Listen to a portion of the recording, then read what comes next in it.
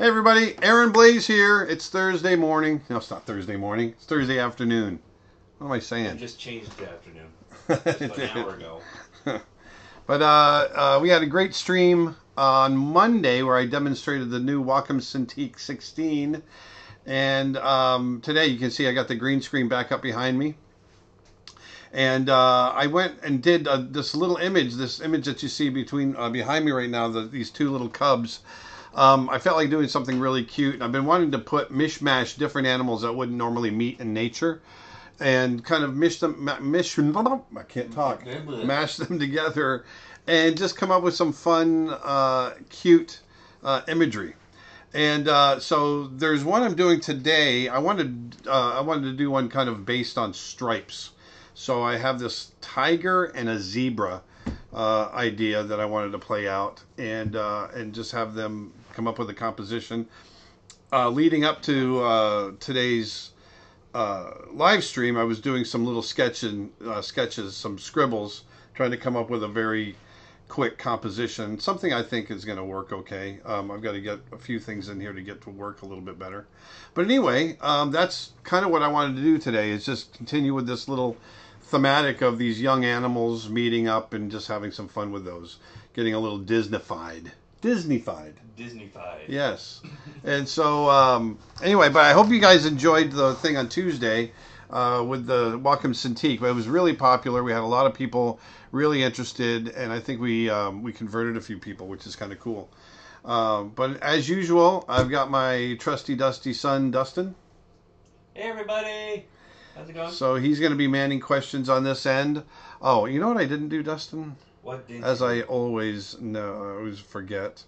I didn't oh, pull Nick. up Nick. Nick, Nick, Nick, Nick, Nick, Nick, Nick Nickelodeon. Nick, do so, the thing. All right, so let me pull up Nick here. Deep Thoughts by Nick.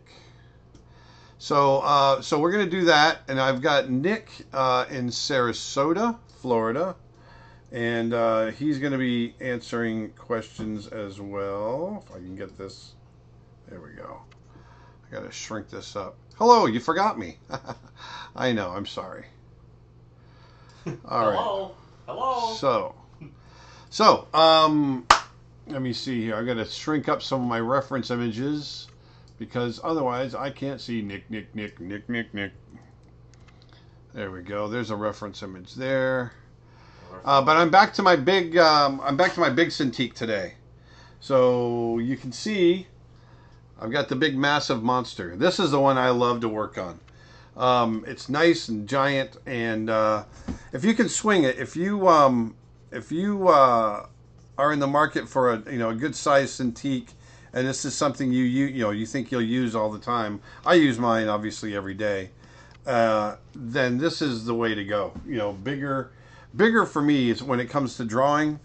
Bigger for me is better. It always it always is. And uh, like I said, I know it's uh it, it- it's a it's a bit mu- much to bite off, but if you can swing it, it's definitely definitely worth it. So, um, but anyway, why don't we switch over to the to uh, the regular screen, Dustin? Uh huh. And here I've got this uh, I've got this image here that I've been working on, and I've just I wanted to clear out the silhouette. I've been kind of struggling with it actually, and I want I just choked on my on my own spit. Oh. I want to uh, maybe bring his tail up here just to bring something up and around. Oh, what version of Photoshop is this, real quick? This is the latest version, CC, uh, CC, CC, CC. She, she. Um, gotta hydrate. Uh, this is the latest version. So here, I've got. I want these characters to feel like they're being playful, and uh, and so that's what I'm doing right here, and um, I think it's going to work out. And you can see when I when I first start these, I go really scribbly because I want I don't want to waste time rendering. I want to make sure that everything kind of leads in. I want to make sure the composition is feeling good.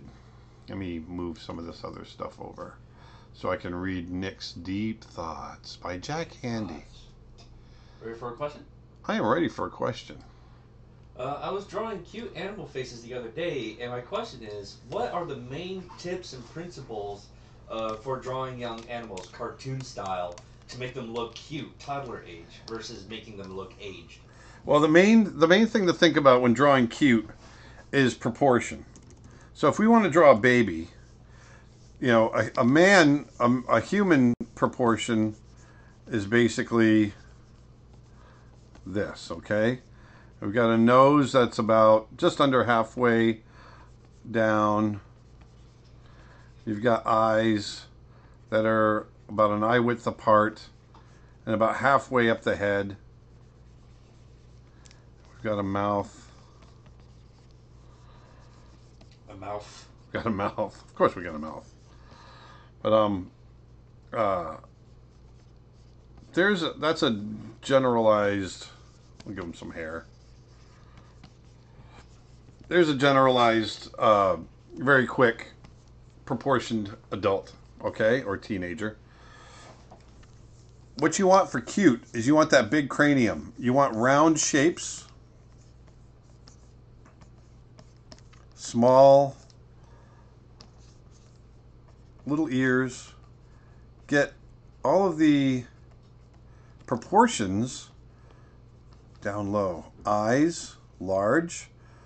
A baby's eyes are basically the same size as a as an adult. They just haven't grown into them yet. Your eyes really don't grow that much. Excuse me, Father, if I may intervene here real quick. Yes. Oh, am I cutting, getting cut off? No, no, no. It's it's the screen itself because we had it at a at a uh, higher res earlier. Oh, sorry. I just Yeah. I was trying to You- draw. Are we still on the air? Uh, yes, we are.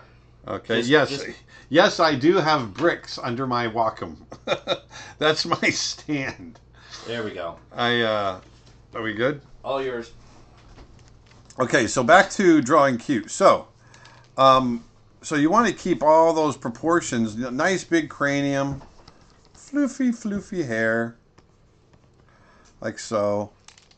Let's make her let's make him smile a little bit. Uh, and are we going to be in Scotland any, uh, anytime this year? We are right now. Uh, I'm not sure that we will be in Scotland, uh, but um, uh, we'll see. And you want those, you know, little chunky body, little hands, little legs. Everything is proportioned. You know, think of a baby and the way a, ba- a baby is proportioned. So whereas a human is about eight heads high, you know, one, two, three, four, five, six, seven, eight. You know, here we got this cute little baby, and you could do a baby about three heads high, or even less. Maybe two and a half heads, and you can end up with something really cute. But if they're standing, it's probably more like three, like so. There's their diaper, little arms. There's your shapes right there. So when you're drawing, so that's the same. So that's human. So if we were to do uh, an animal, let's say a cat, we are programmed to respond to those cute proportions. So whether they're human or a little cat, it's going to be the same types of proportions. Here, you got a little muzzle, big eyes ears tend to be a little smaller. This is a very young cub. But you can see but it's a, it's the same same proportions. Everything's the same as in a human. And where are you drinking ice water? Is it really hot in Florida? I like ice water. It's delicious. Stay hydrated. No, it's not hot today. I just like cold water. And it's actually really chilly outside, actually. Yeah. So there. So those are the things to keep in mind. Just keep those baby, you know, if you can think of a human baby proportion, and uh, that's what you want to do for your animals. Okay, let's see here. I got to move some of my image, my reference imagery around even more because I can't read what Nick has. Okay. Question: How long should we study the bouncing ball before we move on to more complex animations so bad habits don't develop? Um, I don't know. You move on when you feel like you're ready. Once I got the bouncing ball animating to where the timing felt right, then uh, then I moved on. And so that's what I recommend that you do. When you feel comfortable with it, then go ahead and get on out of there. Move on to get more complex stuff. Think about the, that flour sack. Why do most Disney artists have this uh, really round style and round shapes when they draw?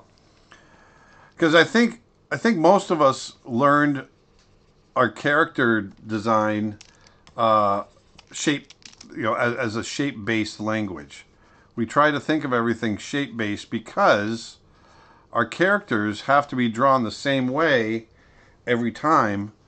And uh, the best way to do that is to build them up with familiar shapes first. There we go. Get some nice little eye contact here. Eric asks, Hey Eric, uh, did you watch any nature programs growing up? And if so, which was your favorite? My favorite was Mutual of Omaha's Wild Kingdom. I watched that every week. And I watched a lot of the Disney uh, ones as well. But Mutual of Omaha's Wild Kingdom for me was awesome. And I loved it when Jim Fowler would go get go get in the river and wrestle the crocodiles and and uh, Marlin Perkins would just sit there and tell him what to do. It's funny. Years ago, I ended up uh, when we were doing Mulan. Um, Jim Fowler is actually a great falconer. That's where he got his start, and we had the Falcon in Mulan, and so uh, Jim Fowler came to the studio uh, and uh, demonstrated some falconry for us, and it was really cool because you know I grew up watching watching his shows, you know, as a little kid, and uh, um, and then you know I ended up going out and having breakfast with him, and it was really cool. He walks with a limp because he got bit by a crocodile. He's just one of these great adventure guys, you know. It's just really awesome. Sounds like one of your kind of guys. He's one of my kind of guys. Yeah. What is cold in Florida? Oh man, it is so freezing here today. It's 55. I think the coldest it's gotten here in Florida was what 30. Oh no no no! It's we, I've we've uh, I've uh, at night, not not during the day. no, I've I've been out. Uh, I remember one time it got down to 18. Really? Yeah, and that night that you and I, when you were a little kid, you and I slept on the beach. Was that 18? And I, I had to carry like, you up to the house. I thought that was like that was like 20, that was 22 degrees. Wow. I keep thinking it's it's quote unquote warmer. yeah. So what I'm doing now is I'm just tying tying this image down. I've got this this little tiger here that I like. Where are you re- reading these questions from? oh, I've got them up on my screen up up here. If you go to that, can, can you see the screen up here on that on that camera? Got a little, got a little bit. Got Nick's. Yeah, so there's a there's a screen up here. Yeah, there's Nick right there. So this is uh, this is where I get the uh, so 55 Fahrenheit is about 13 Celsius. Thank you, Nick. Yeah, so Nick handles all uh, the questions while I personally handle the uh, Facebook questions. Yes. And uh, speaking of, did you ever study or uh, draw plants? Oh, you know, I, well, I draw I draw a lot of plants just from life. Uh, but I've never really studied them. That's a good question. Yeah, I know I know a fair amount about my Florida Florida plants.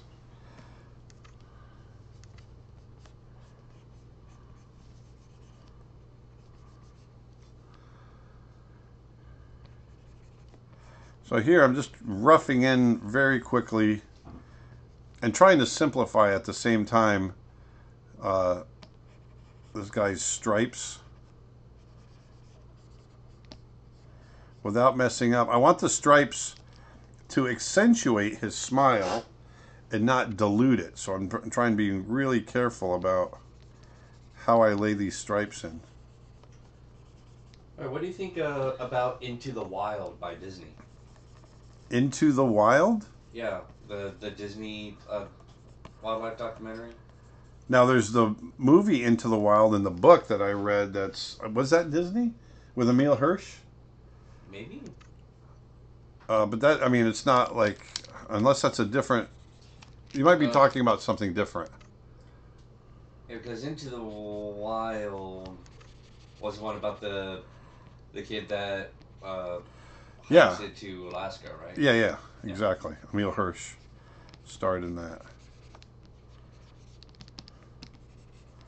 One of my favorite movies. Eddie Vedder did the soundtrack. Cold Hard Sun, baby. That's a good song. Yeah, somebody wrote about the uh, 15 degrees Celsius. Like 15 degrees Celsius, that's Danish summer weather at best. uh, do you visit Disney World much after you left Disney Company? nope. nope. Nope, I don't visit Disney. I love Disney. I just, first of all, I've never been a theme park guy. I've never liked theme parks. I don't like crowds.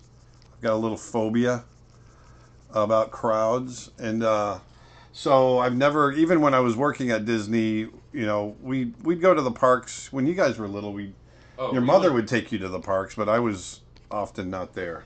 Yeah, but you would uh, you would come out to see us and sign us in, Yeah, and then every once in a while, like special if we were at the uh, what was it, MGM Studios? Was, was that? yeah, It was right next to that, right? yeah, And we would uh, go backstage and see you at the uh, animation studio, yeah. And then go back into the park. So here I'm just kind of laying him in. I've, I've got, you know, once I rough something out, then I can sit back and relax and really kind of work out the details. Like this fur, for instance, you know, working out how that fur is going to flow off the side of the head. There's the 32-inch Wacom tablet uh, at out. I've seen them on Amazon, but not sure if it's the same one. They are out. Um, I'm pretty sure they are out. Let let me put it that way. And um, I'm really hoping to get one because this. I mean, you can see how big this is, and this is uh, this is a 27. So the 32s are four inches bigger, five inches bigger. That's huge. it's freaking huge. yeah. How do you like that math? Like four inches bigger. It's five inches bigger. Uh oh, we got little Max. He's standing in here. He doesn't usually stand in here unless he's uh got to go to the bathroom. Uh, All right, so there we go. So I've got his body kind of roughed in. I'm thinking about what's going on underneath. Well, there's a shoulder blade right here, and where does that connect? Well, that connects right here to his shoulder, which is in the front. Four-legged animals, they have their shoulders moved to the front. And then we have our tricep in here, but he's I don't want to make him too muscular because I want him to feel I want him to feel like a 13 to 14 year old kid, you know, the equivalent of. will you do a course on farm animals or draw one in your next live stream? Sure. Yes, I will. How big is the canvas you usually work on, and how much do you zoom in to do the drawing? Well, the, this canvas today, let's I've I've uh, kind of customized it, but uh, let's see. The image size today is 16 by 16. So I, yeah, I wanted to do it square for Instagram. So this is 16 inches by 16 inches at 300 dpi. So I find that 300 dpi and keeping the dimensions above 10 inches gives me enough. I mean, you can see how far I can zoom in before it falls apart. So if I can, you know, it gets pixelated right about in here. You know, so, um, you know, I could blow this up to poster size and it would still hold together. I often struggle with nailing that thick cornea on cats. How would you do that in a cartoony style? The thick cornea, Cornea. I'm assuming you're talking about that dark area in front of the eye. I don't know. I'm not sure if that's what you're talking about, but if you if we do this, You know, I think about a cat's eye. You know, first of all, cat's eye just normally is gonna, you know, they've got pupils just like ours, but then they've got this dark area right here in the corner of the eye, usually dark around the eye, or maybe a little dark up here. And then they've got their little nictitating membrane and their their uh, their uh, eyelids. Like so. What I do is I I try to find it when I kind of Disneyfy it. I push it towards a little bit more towards a cartoony shape. And I usually go a little bigger. See, I I actually add an iris and make the white of the eye you know so it feels a little more anthropomorphic so there's that's kind of how I approach because a, a regular cat eye whoops will have a shadow going across if you know if it's if, uh, if it's on the, in the light we can do a shadow across it here too and we'll give it a little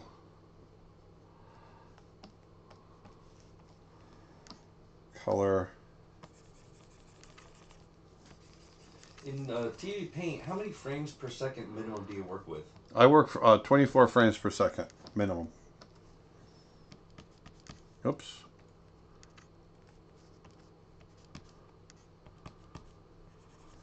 So there's there's the eyes like that. So there's a realistic eye on the on the left and a cartoony eye on the right.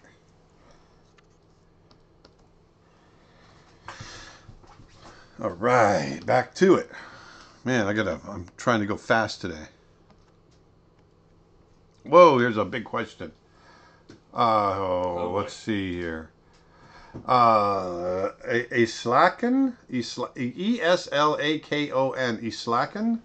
Uh, asks, I ordered a Cintiq 16 after the review of it that you did. Any general tips for using a screen display tablet compared to the old Intuos tablets? I'm hoping it feels closer to traditional drawing. It straight up does. I mean, there's no tips I can give you.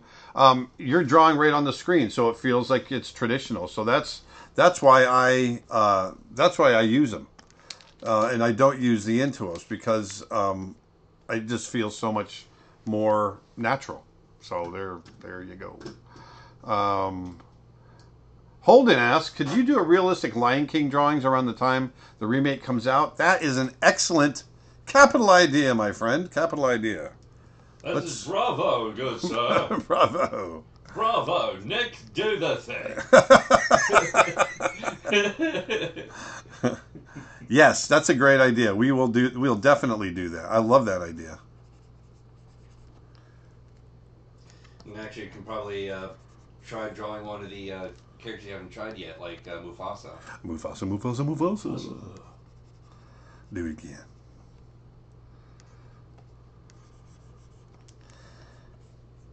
So the stripes on the tiger here are very thin, especially around and sparse, especially around the shoulders. Did you apply the local color with pen pressure, or just like that without any opacity and pressure? Say that again, Dustin. I'm reading exactly as it, as it says. Do you do you apply the local color with pen pressure, or or just like that without uh, any opacity and pressure, like any like I do it with do pen pressure. you do it with pen pressure? Yes. Lisa asks, Hello, Aaron. Hello, Lisa. Uh, I would love to know what you think is the most effective way to become good at animation, especially for people who are just starting out. Animate a lot. That's the best thing you can do. Observe life, uh, observe physics, real life physics, because that's what gives your animation believability. Um, think about emotion. You know, try to get that into your animation and uh, and animate a lot. That's really the the best thing you can do. Haley asks, can you make the zebra a golden zebra and maybe the golden tiger? No, no. of course, I can. I might be able to do that. A golden zebra. I don't. I'm. I'm trying to make them both realistic. Now, a, a, a young a zebra does have kind of gold uh, tints in his uh, in his coloration. And just joined in and said, "Yay!" Hey, Venanta. Would you like to be the voice of the White Bear King? I am the voice of the White Bear King. Look at me. Roar. Roar. Will you publish a book about drawing? Uh. That would be awesome. You know what? Uh, Nick and I have been talking about it. One of the things we've been talking about is taking a lot of my courses that we've done already and taking that information and putting it into book form. And uh, it's something that's going to take a long time to do, but it's something we're pretty serious about, and we uh, we'd like to do that. So that's something something that we're going to be looking at down the road. Uh, did you draw hyenas for the Lion King? I did not. The hyenas were done by Dave Burgess and Alex Kupershmidt. I did young Nala. I also did a little bit of young Simba. And I helped out a very little bit with adult Simba. And Haley says there's a quote unquote golden zebra. Just whoop uh, to uh, Google. Yes, yes, I'm sure. But I think it's a it's a uh, it's a mutation though, isn't it? Genetic mutation. It's not natural. I mean, it, it happens like a king's king cheetah. You know, they happen naturally, but they're it's a recessive gene, isn't it? Or am I wrong? I think so. It, it's, I think it's like the uh, almost like a uh, albino. Yeah, it's like a recessive. Yeah. Yeah, something say it like that. Yes. Yeah. It's melanistic. It's not albino, but it's something like that. So I'm just quickly scribbling in those those stripes. Twitch question: Do you ever feel too tired to work? Yes. Especially over winter. Yes. What do you do in that case? I sleep. you go into hibernation. I do. If I feel too tired to work, I don't work. I sleep. You go into hibernation and don't wake up till spring. no, I uh, I'm I'm notoriously horrible for getting enough sleep, and uh, and I'm so fat now. I'm I'm one of these guys that does. I can't breathe when I sleep, and I got the sleep apnea. I got to get one of those mask things, or drop some weight. Ew. And uh, so I sleep terrible, and uh, and so I'm tired a lot. About five o'clock every day, um, I start falling asleep, and then I come out of it, and then I'm fine, and then then I can go until three in the morning. But um, uh, one yesterday I was drawing, and I fell asleep while I was drawing, and ended up with a line all the way across the thing. Did you really? I did. Question: Whilst whilst working at Disney, is this the software you used? And could you do a live stream of trying a different software, such as Autodesk, Sketchbook, etc.? Uh, I could try. I am not familiar with them, but I could definitely try. And yes, Photoshop is the software that I used when I did my design work. What would you say is the most important thing about character design? Appeal. Your char- appeal. A characters have to be appealing. And when I say appealing, they don't have to be cute because your villains can be appealing. You, appeal means interesting. So you want your characters to be interesting, and the way to get them interesting is to follow some of the fundamentals. So it really all the rules and everything kind of fold into each other because you can't have appeal without having you know having hit some of the other fun- fundamentals correctly.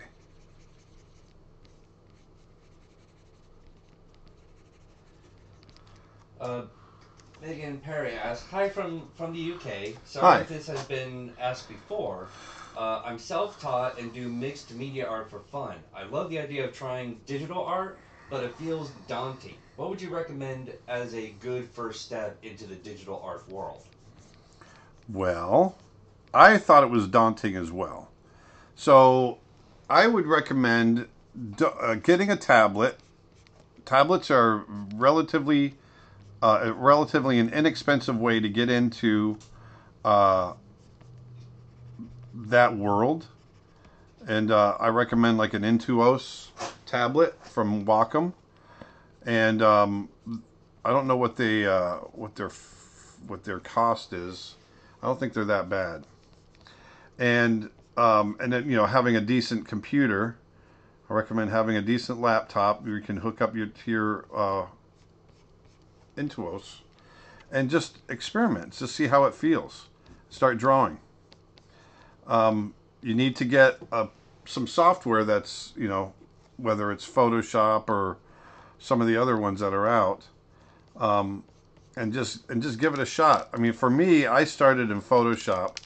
I had friends, um, you know, art director friends and that sort of thing at Disney that also worked in Photoshop, so I had a bit of an advantage in learning. And uh, but I I, re- I came to realize that the the best way to learn was just to experiment and try different things, and so that's that's pretty much what I did. And uh, and I made a lot of discoveries. And then if you if it's something you like, then maybe somewhere down the road, you start looking into a pen display, which is what I'm using today. You want to switch the switch the camera, Dust? So so once again, this is a pen display and uh, it's a much bigger investment. Um, but for me, it's very much worth it because of the amount of work that I do um, digitally. So it's the best way to go for me. You mentioned about the uh, the 16 inch version, right? Yeah, and I've got yeah the 16 inch uh, Cintiq, which I demoed the other uh, on Tuesday. Um, that's I mean it's still not cheap. It's six hundred and forty nine dollars US, uh, but it's you know it's still uh, a, a relatively inexpensive way to get into the pen display world.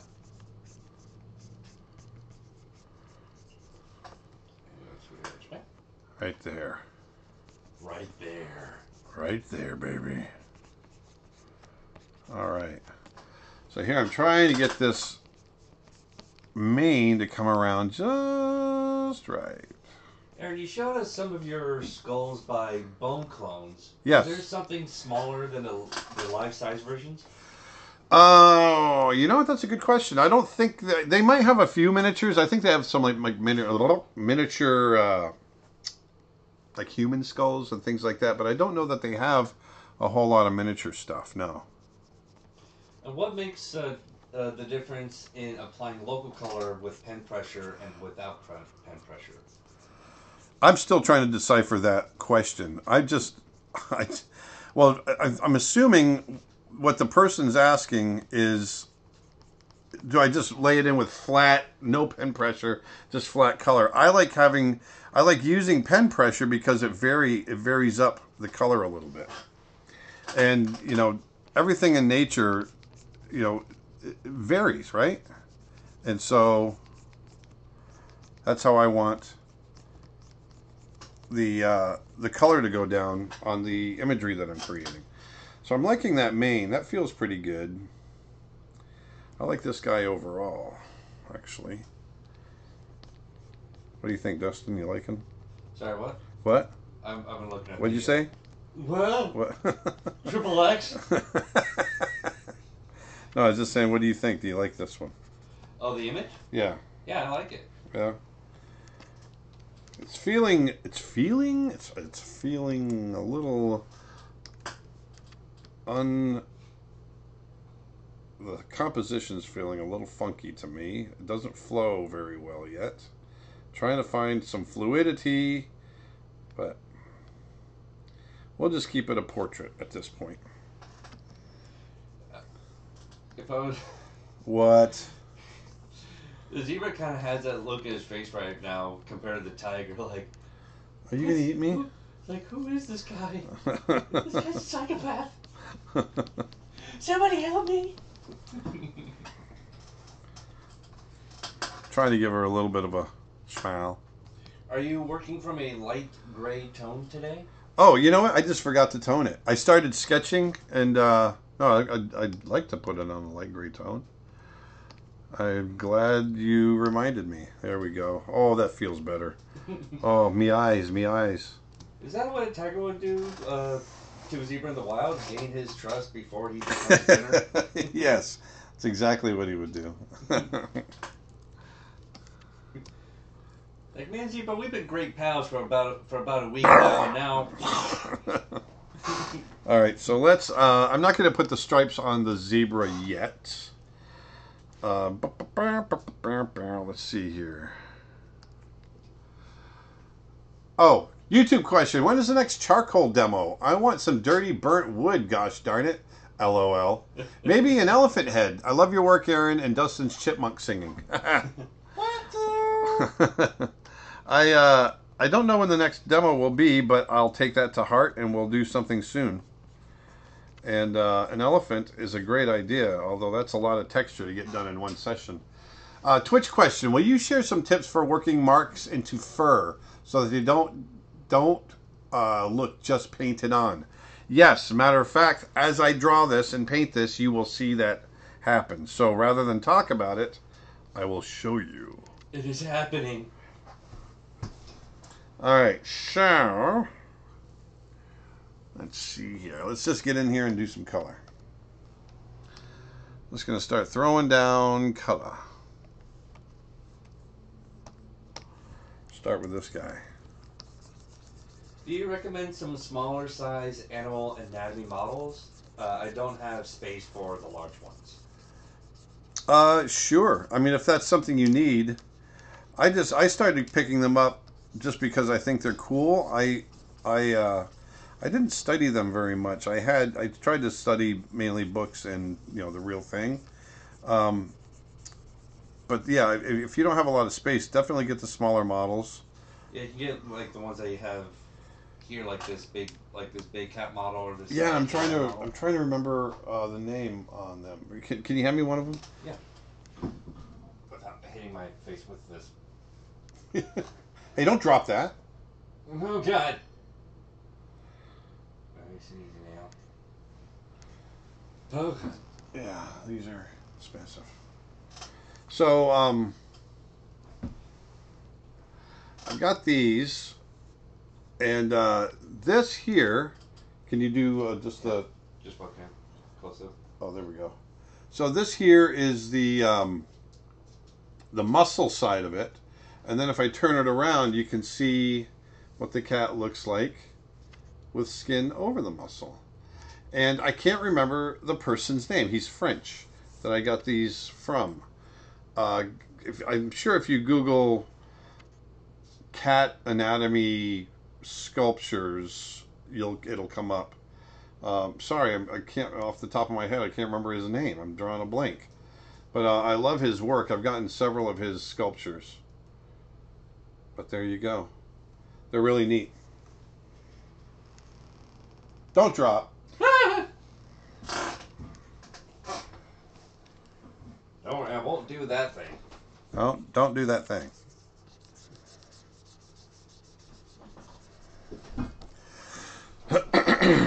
All right.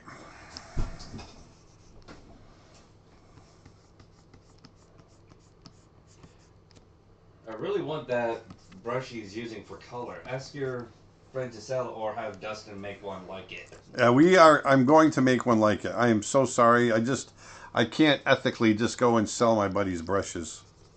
So I'm not going to do that. But I will make one similar. I've got some that are somewhat similar, but not quite the same. And in which way will the light be coming in for this? I uh, don't know yet. I'm going to wait till I get it down and then decide what's going to be best for the image. Question: Are your courses focused on all skill levels or for people with a with greater ability? Um, it varies. It does vary. I uh, I tend to think that they're for all skill levels. Although things like my animation course, uh, you're probably and you should probably be at least a, a, a um, an a intermediate animator. Um, but things like my animal drawing courses, my figure drawing courses, they're for all skill levels. YouTube question How hard is it to get to a company to make a movie?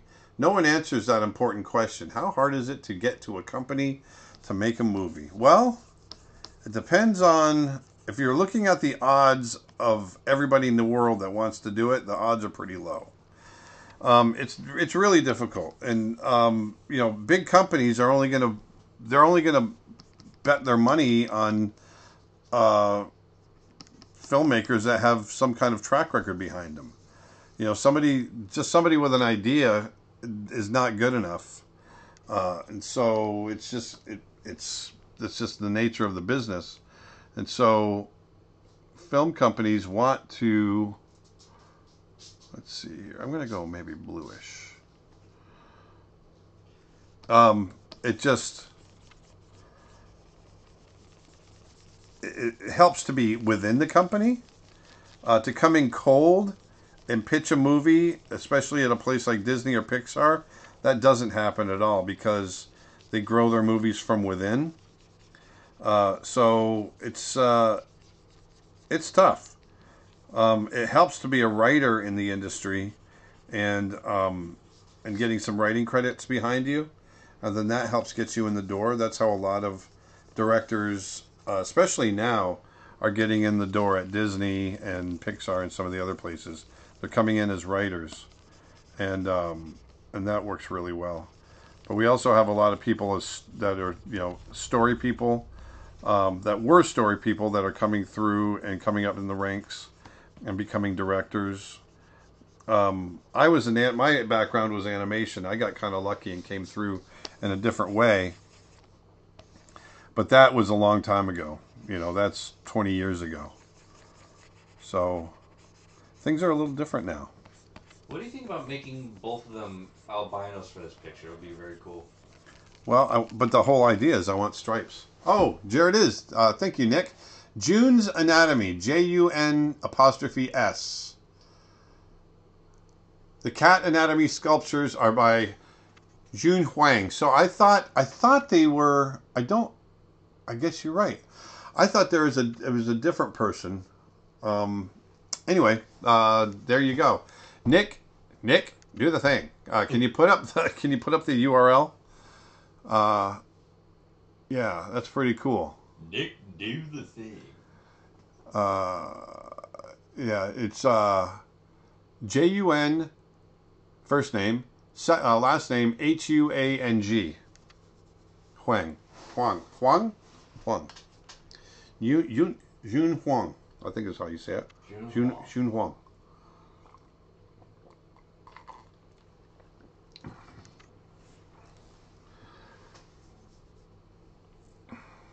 So what I do when I'm doing a, a zebra, I've done several zebras. I tend to do the stripes last. I do all of my modeling on the white, and then I put the stripes over the top. It works really well, actually.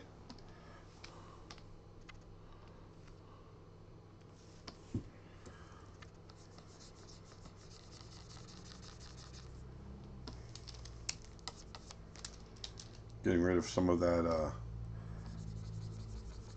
underdrawing. Oh, it's just uh, it's J U N www.jun it's Hunes J U N S Anatomy A N A T O M Y dot com. Hunes Anatomy. I hope he gets a boost out of this because his stuff is unbelievable. Well, I don't think he needs a boost because he's always uh, he's always in back order because there's such a demand for his work all the time.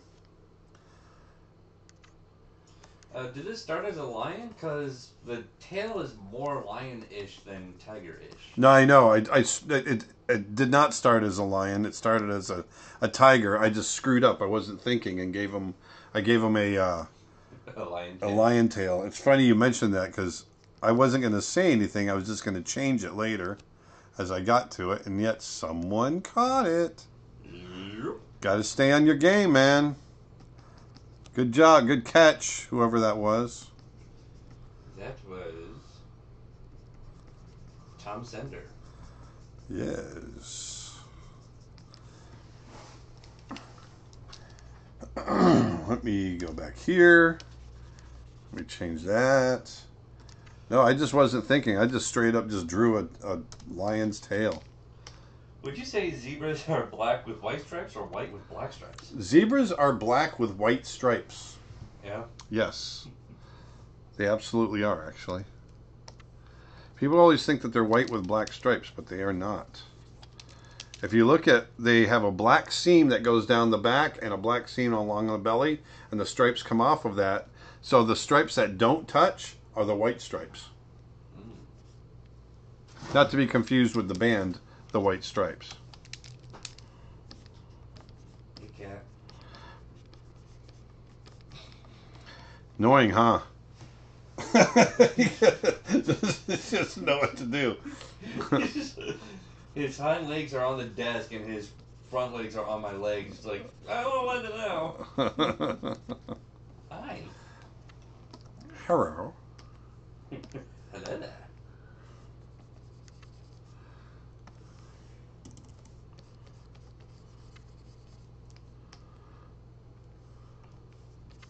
Any new questions? Daniel, hey Daniel. Daniel asks, sorry, I got caught up in this. Daniel asks, how can I achieve a likeness in animated or cartoon characters? I mean, how do you make them look alike after uh, drawing? Oh, after drawing them several times. Well, that's it goes hand in hand with the question that came up earlier: why we're so shape based. We draw everything shape based so that I can draw the character the same way. I use the same shapes every time. The, adding the details is easy, but making sure that your overall shape and silhouette is the same, that's where it gets a little bit tricky. And so I always try to make sure that I use shapes to build my characters. That way I can do it the same way each time, and then I just add the details. So that's how we do that. Question Most of the animation show reels online look quite all the same. Do you have some tips to find originality in your work? Yes do shots. A, a, a, lot of the reels look the same, I think, because there's the white stripes. Awesome. Um, a lot of the reels look the same, in my opinion, because a lot of them are containing just mechanical walking tests and things like that. Find find um, animation that is going to be uh, emotional and uh, trans. It, it, there was a train a change of idea in a shot or. Um, uh, a change of thought um, or motion, any of that, anything that's going to convey emotion in a shot, because then all of a sudden your characters are thinking, and that's what you want. You want to see characters that are thinking. That's what gets you. Uh, that's what makes your animation interesting, and your characters interesting. You know, you want to see them thinking. And what was that, Dustin? They want to see thinking. Thinking. So there we go. So there's his little head. Getting local color in here. Uh, actually, I want to get the nose. The nose. What am I going to do here? I'm going to come back here. I am going to do a little salsing. A little salsing here. Do you have any pets, and would you ever show them to us and perhaps draw them? I do have pets.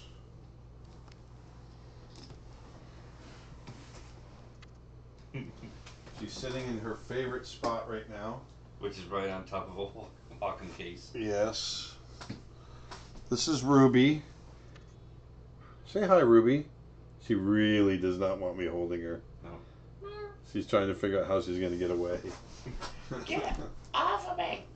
And I've got a dog named Akil. Uh, Akil. Akil. Achilles. Just so I can say Achilles heel. And and I've got uh, we've got a frog, and we've got another dog named Max, another cat named Kit Kat, and fish. Fish. Fish. We've got fish.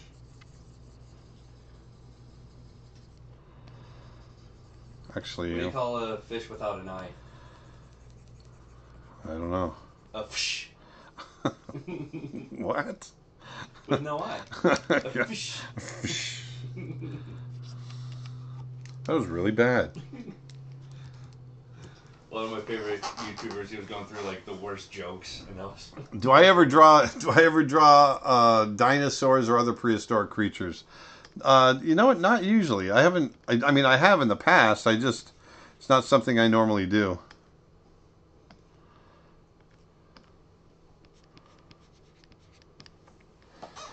There. So let's go ahead and start adding some some light and shadow. Shadow. I'm going to create a new layer and set it to multiply. We'll get some background color in here in a minute. Are you not gonna add the uh, the zebra's uh, stripes? I'm going to add his stripes after I add shadow. Oh. After I add shadow. Actually, you know what? Screw it. I'm going to go ahead and add the stripes now. I'm just going to put them right on over the top. Somebody contact Achilles' heel is a is a good one. My friend named hers Gimli, so she can say, "Come along, Gimli." I wish I could say that the Achilles heel was my idea. It was actually uh, he used to be my daughter and son-in-law's dog. Achilles. Achilles did, and um, they named him. And uh, but we, I ended up with him because they moved into an apartment where they couldn't have pets. So now, he's mine. He's my best buddy. Whenever I hear Achilles, I keep I keep thinking of Hunchback of Notre Dame with the dog, not dog, with the horse. Achilles. Achilles, sit, and he sits on the guard. Yes. Look at Nick. Look at Nick set. Nice. Probably for the fish joke. Uh. or Achilles. or Achilles. So I'm looking at reference right now. I don't have zebra stripes memorized in my head as far as how they go. In high school, I had a frog named Fat Tony. Le- Lenny Lamson wrote that. hey, Fat Tony. that's awesome. oh, that's for Dustin's fish joke. the fish joke. Yeah. The Fish.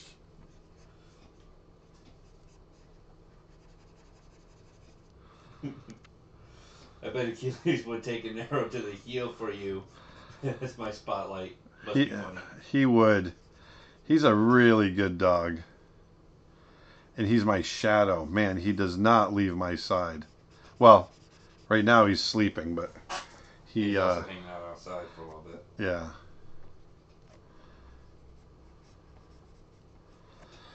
There we go. Oh, Jonathan's watching. And he says, "Hey, Uncle. Hey, Dusty. Hey, Hey, Jonathan." Jonathan, my nephew. My man.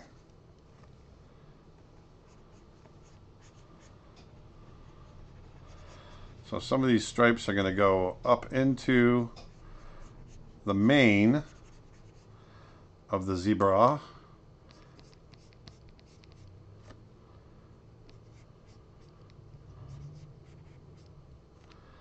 You got anything for me, Dustin? You're awfully quiet over there. Do your job. Do the thing. It was just a bunch of name comments left and right. But um, I got got a question. Dustin, do the thing. Ask me questions. Do the thing. Dick, do the thing. Uh, any reasons to do the stripes or shadows first? Uh, What's the difference between doing the stripes before or after well, shadowing? I I used to do it all in one layer. That's why I was doing the stripes second. But um, there's no reason it, it- I can do it either either way. That's why I decided just to go ahead and do the stripes now. Because I'm going to do the shadows over the tops of the stripes anyway. Uh, what breed is Max? He's a, a, a toy poodle. He's right here. Yeah, pick, pick him up. Hey, Dustin, pick up the dog. Pick up the uh, the thing.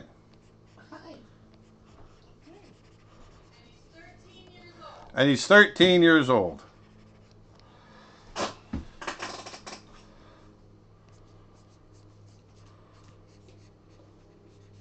nice.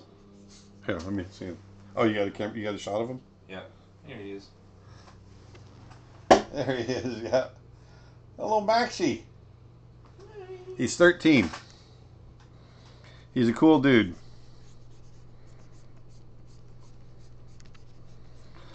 He's an old man. He's so small though. Yep. That he is. And he's about ready to start barking. I think he was down.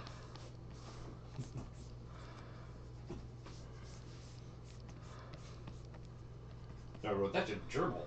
That's about right. Tom wrote that. That's a gerbil. Do you have a bottle of whiskey in your art room? You know what? I don't. Normally, I'd have a bottle of vodka, Bottle of vodka. but no whiskey. I'm not a whiskey drinker.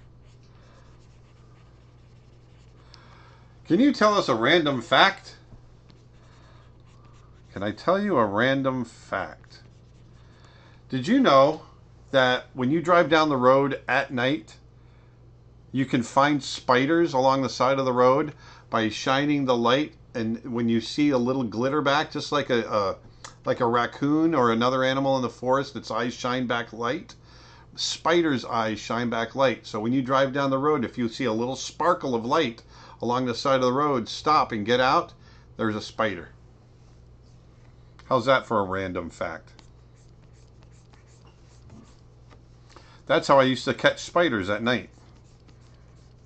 And we actually would go catch spiders at night like Is that. it common to find spiders on the side of the road? yeah.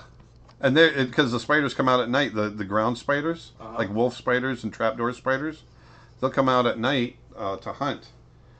Well not trapdoor because they they have a trapdoor but um but other spiders will come out at night to hunt Interesting.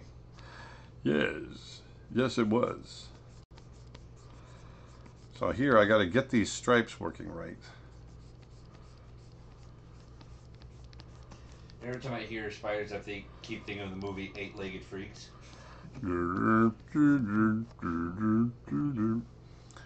Uh, we'll do another movie with Disney if they ask you. Would I do another movie with the, the Disney if they ask me? Um, well, first of all, they won't. Uh, they've got a really big backlog of directors making films. Um, uh, it really would depend on the movie. I love the niche that we've created with our business. I really love what I do right now, and um, and making short films like Snow Bear. Snow Bear is still happening. Making short films like that, and uh, um, let me label this a stripe layer. Um, and you know, traveling around the world and teaching and all that. Uh, I really love that. I love doing that, uh, and you know, it'd be hard. I'd be hard pressed to have a, a project come along that would pull me away from it. Why would you want to catch spiders, and what would you do with them? It was just a gimmick. I don't know. I'm, I'm, I'm, I'm a guy. I'm a guy. I'm a guy. It's actually my personal question here, but whenever you release them, do they chase chase after you? no, no. And I, I, uh, I wouldn't catch them. I shouldn't say that. We would, we would stop and, you know, and we'd see how, you know, we'd try to find big ones just to, just to, just to see what they look like. Huh. Yeah, it's kind of cool to be able to drive along the road and go, hey, there's a little sparkly light along the side of the road. That's a spider. And you get out, and sure enough, there's a spider. Remember when we saw that giant tarantula walk, walking walking down the road on the mountainside? yes. I was like, what is that big dot on the road? I thought it was a crab at first. Like, what's a crab Be- doing up yeah, here? being the idiot that I was.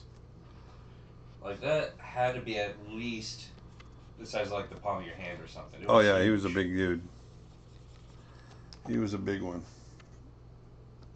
I should be putting the stripes right there. What scares the living crap out of you?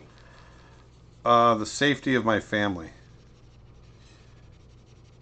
But other than that, there's nothing in nature that scares me, because you just give it you give it a wide berth. You respect it, you know. Uh, what's our current local time right now? Our current local time is 1:59. We are at almost 2 2 p.m. Eastern Standard Time. We're 1 hour into our uh into our live stream. Egads! How big are the spiders there? Very big. We get some big ones here.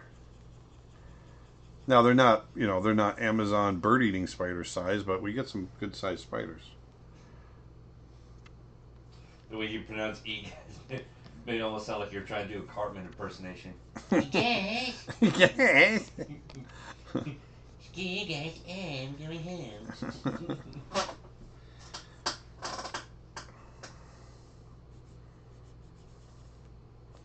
You mistook a spider for a crab? Nope.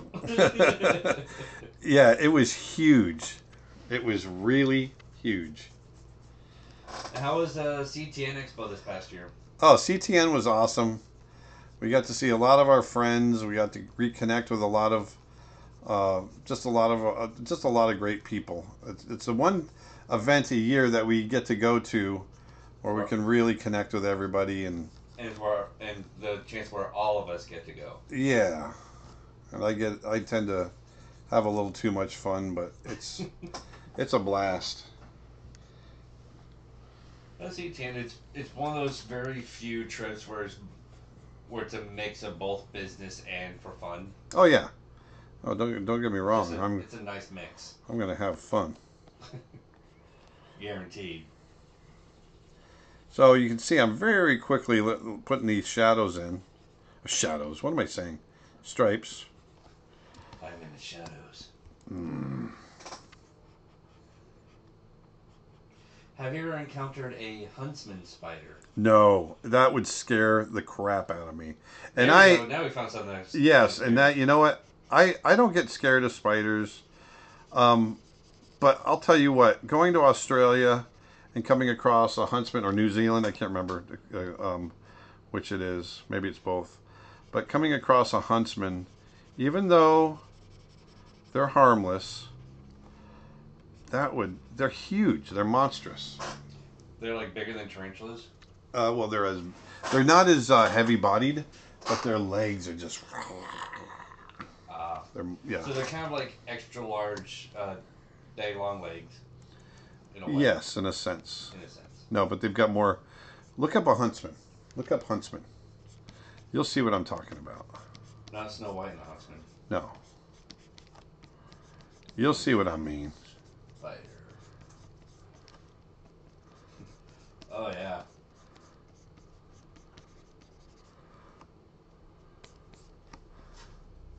Forget about it.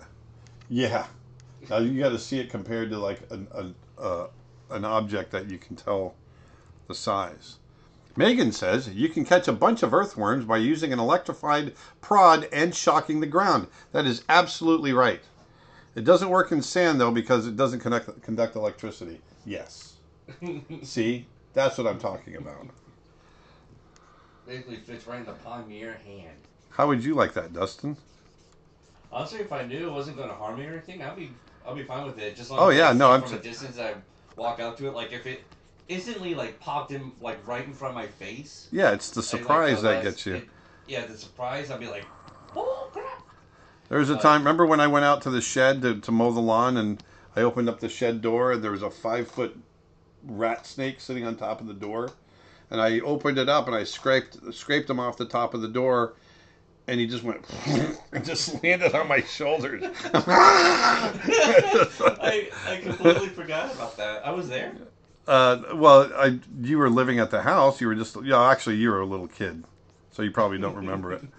But and I don't not I'm not afraid of snakes either. But when one just falls out of the sky and lands on you, it kind of freaked me out. Like you don't know what's going to happen. All right, so we've got we've got local color all laid in. It's taken an hour. Once again, all my jibber jabber. Hey, stop all that jibber jabber. Jibber jabber. Okay, Aaron, we stop got doing the thing. stop doing the thing. We got stripes now. We have stripes. We got the Nick, we have stripes. We got the, the white stripes. All right, so now we're going to go to multiple. Nick, remember, remember that scream he lets out in the movie? Like this, I, I gave hit that pitch. It's the so highest high. pitch. Nick is Nick is playing. Nick is playing the Home Alone. Show it. Show it. I don't know how to show it. Oh, that's right. I can bring it down here. Yeah, bring it down. Bring it down. That right there.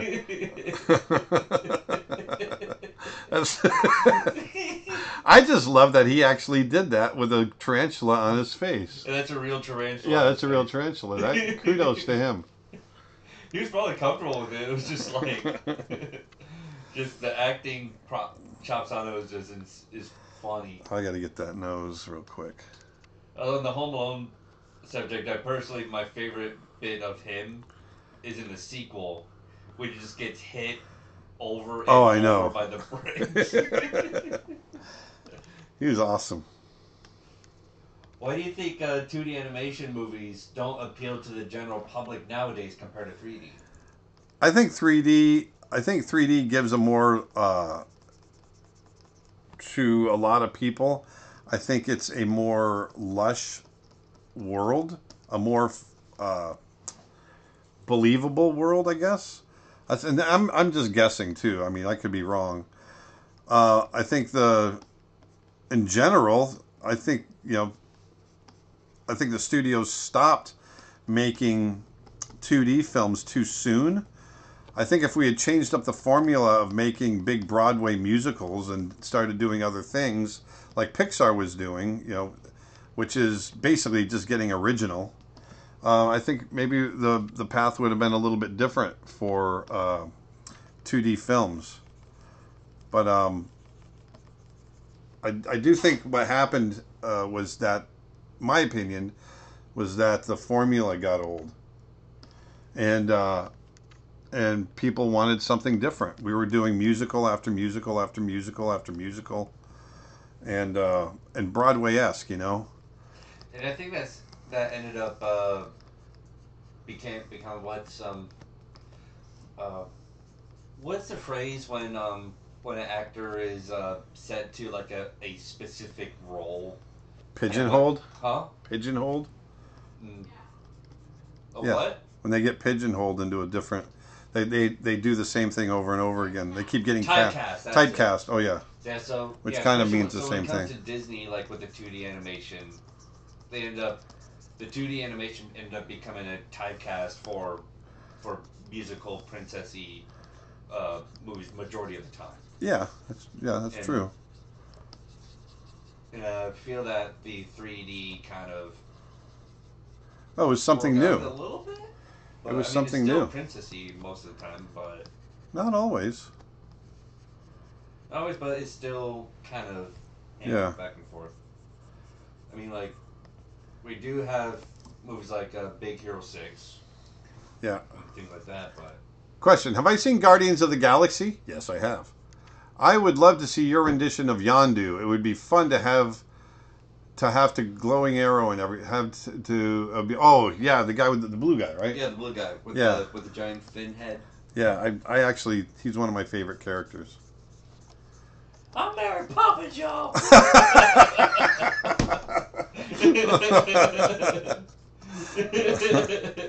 That's awesome. I remember watching that, like seeing that scene in, in the theater, and everybody just burst in laughter. I know. Have I ever worked at Pixar? I uh, indirectly. I mean, I was working at Disney, and uh, and so we would we would go back and forth. We would uh, do note sessions up at Pixar, and they would do note sessions down with us. We'd have meetings up there. I remember screening uh, Wall-E before it came out to give notes for Andrew Stanton, who was the director. But uh, beyond that, we didn't. Uh, I didn't really do work at Pixar. No. I mean, John Lasseter was my boss, and Ed Catmull, Ed Catmull, and uh, so there was that. But really, it didn't. Uh, we didn't go up there that much. Uh, Twitch question: Do you have a tip for choosing color digitally? I'm pretty confident with traditional media, but whenever I try painting digitally, I get overwhelmed by the color range I can pick from, and it tends to look unnatural. I try to stay within kind of a triadic area, so I don't. Um, once I pick, uh, I, I tend to think of uh, color in warm and cool, and um, and one of the things I do when I'm working digitally is I find that local color first, like we just did. That's going to keep your color based in you know whatever you, you can control it a lot better when you just think about man my glasses are so dirty um, when you just think about the local color first you can keep it under control and then once you have it kind of harmonized like I like here I purposely went warm obviously with the orange cat but then I when I put the uh, the white down for the for the zebra Um, I never go white white first of all. So uh, and I and I made sure that the zebra was a cool, a blue, so that they played off of each other a little bit better. So I'll do. I, I really play with warm and cool a lot. That's a big part of the way I approach color. And uh, and then shadow. You know, shadow really helps uh, harmonize things as well. It, ma- it brings everything together. Uh, what was John Lasseter like uh, to work with? John Lasseter was a great guy. Um, I never had any of the problems that you see in the news right now. Um, he uh, he was he was a an, a, genius in the room. Um, he was worked very hard, and uh, I would have days when I'd come in to pitch a sequence to him, and he'd fall asleep right in front of me, and it was kind of hard. But then I'd finish the pitch, and he gave me notes, and he was right on the money. He he list, he heard the pitch, so it was pretty wild. It's like, how how are you doing this? Yeah, he's he was pretty superhuman. And uh, but I like I said I never but I'm a you know I'm a man I'm a male I didn't see the stuff that was going on or uh, I didn't encounter it firsthand. So uh, but he was uh, he was a pretty genius to work for.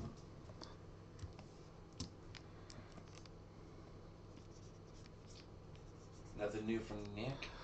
No, other than the spider that just keeps screaming. The guy that just keeps screaming with the spider.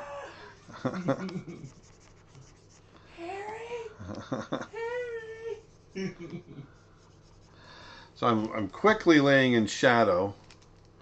I do this very quickly. Actually, of the of those two characters, personal question: of those two characters, which one's your favorite, Harry Yep. or Marv? Well, I can't. I can't. I, can't- I don't know, because they're both so funny. And Joe Pesci, like considering on all the, Joe Pesci's awesome. the considering of all the movies that he that he does, like that one is probably like one of the one of his most comedic, I think. Yeah. Like my cousin Vinny. Yeah.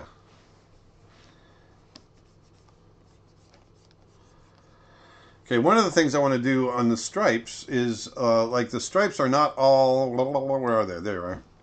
The stripes are not all just black. On a zebra, especially on a young one, they tend to be a little bit brown. And so what I'm going to do is grab the stripes. I'm going to lock down, lock it down, and then I'm going to just start to color. See that? I can hit just the stripes. And up in here. So when are you getting your new? And on the snout. Um, I don't know yet.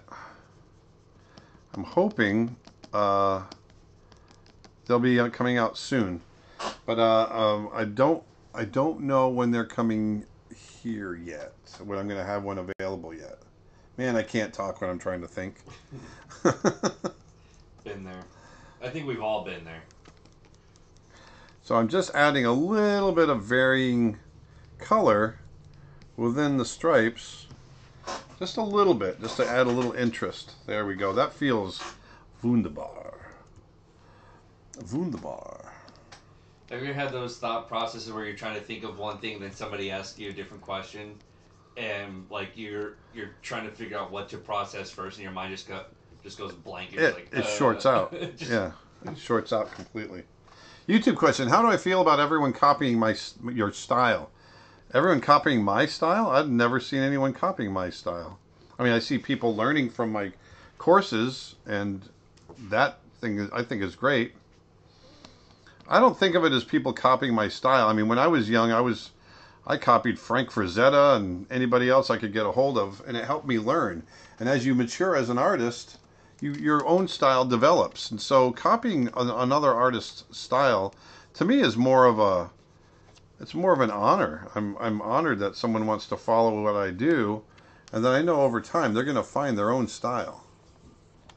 What do you think about Disney remaking all their own movies? Like, do you think it's a cash grab or adapting for a new generation? Yes. Yes. I think it's both. I think come, come on, Disney Disney is in the business of making money, just like any big business. So you can't you can't fault them for that. Um, but at the same time, um, I think we are, and I think tho- make remaking those films is a you know you don't have to. It's very minimal rewriting, obviously. Um, so there is a bit of a cash grab there. But I also think that they're ready to be remade for a new audience. So you know, I I I I think it's cool, you know, and uh, oops, that's wrong. And I'm uh, I'm kind of excited to see what happens with like with Lion King and and whatnot. And whatnot.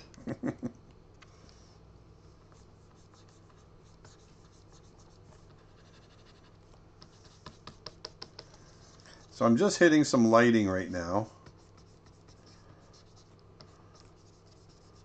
Would you recommend learning lighting, shadows, and color while working digitally?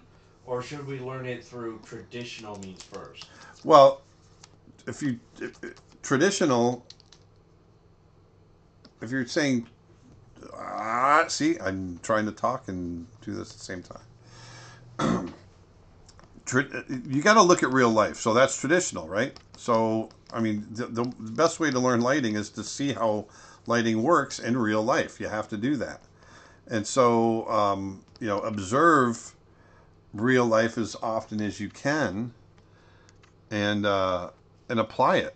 You know, I that's that's what I do. I'm always looking at different lighting situations and taking either mental note or I or I sketch it.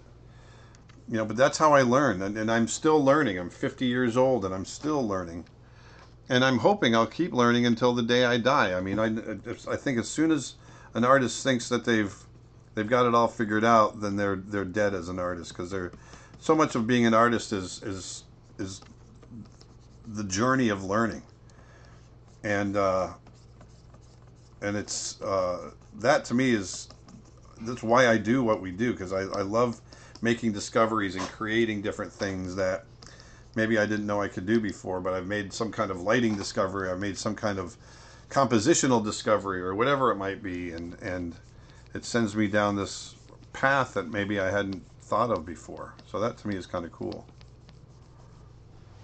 Uh, last stream you said something about you and Proko. Uh, can we get more details about that? No. Okay. no, Proko's going to be coming out here in March, and uh, we're going to be creating. Uh, I'm going to be creating a little course for him, and we'll probably do a little bit of a YouTube video thing. But we'll be getting together in my studio, I might add, in my studio in March. So I'm pretty excited about that. What was your opinion of cute whimsical characters that that do break all the rules, such as really stretching or disregarding anatomy altogether? I think it's fun. I mean, if you look at any Warner Brothers cartoon, that's exactly what they do. Warner Brothers and Warner, you know, Roger Roger Rabbit. You know, I animated Roger Rabbit in several shorts and just had a blast doing it. And you know, it breaks all the anatomy rules, but that's a, a, a specific style of animation that's just a blast. Do you have a favorite Disney villain? I um. I I like uh, uh, uh, Maleficent is probably my favorite. Classic.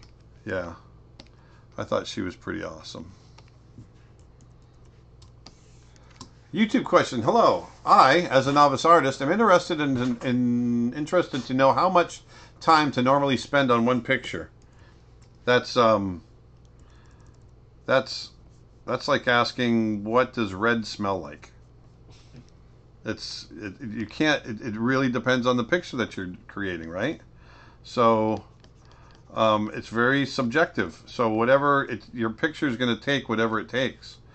If I'm working on a giant Sistine Chapel image, it's going to take a lot more time than if I'm sitting there, you know, working on an eight and a half by eleven sheet of paper.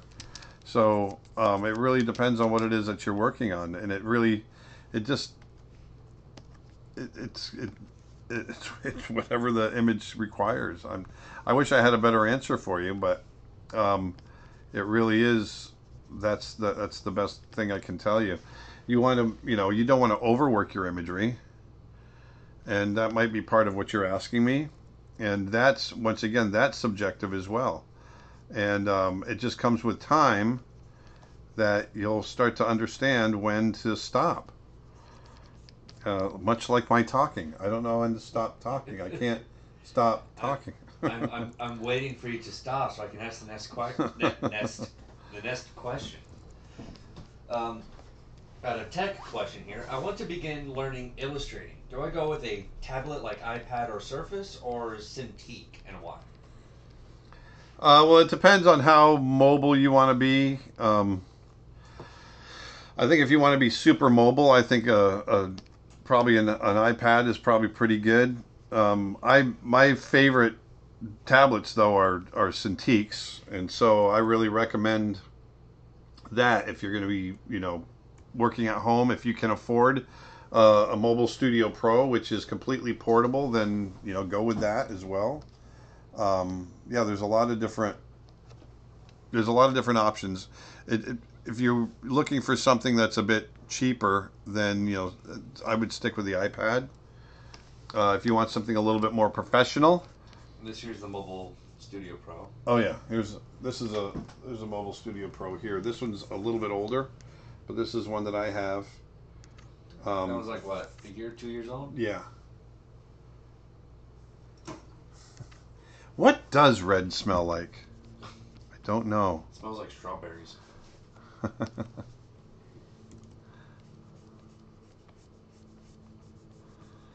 Does it? Does it?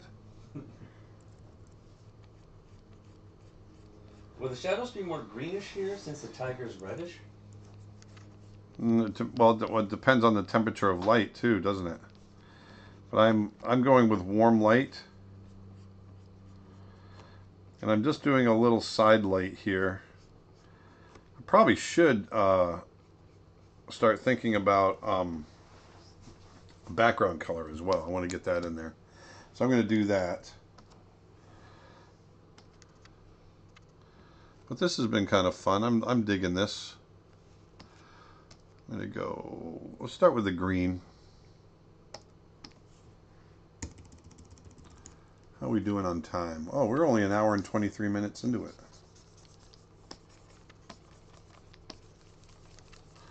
So I've created a layer under everything. And I'm just getting some color in here. I'm just laying down this base green color. I'm going to work over the top of it. Maybe go a little bluer,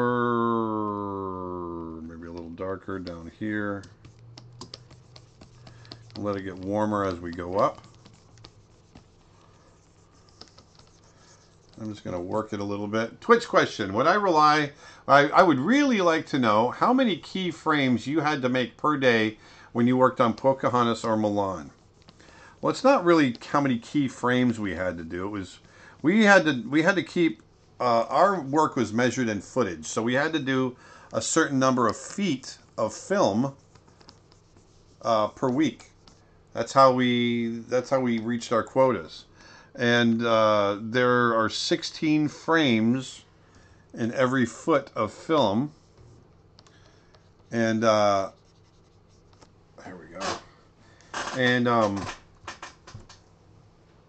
and so I, you know usually they wanted about five feet a week which is really really minimal. That's that's pretty easy to hit.